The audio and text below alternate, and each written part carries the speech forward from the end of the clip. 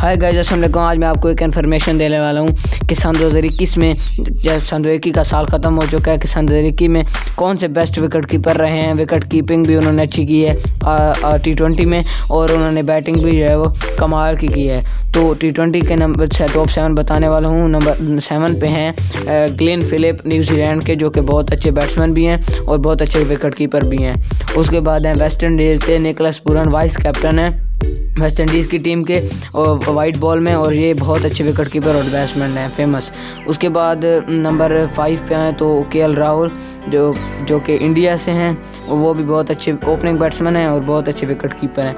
उसके बाद number four पे आऊँ तो ऋषभ पंत, आप सब जानते ही हैं, बहुत अच्छे विकेट कीपर बैट्समैन हैं.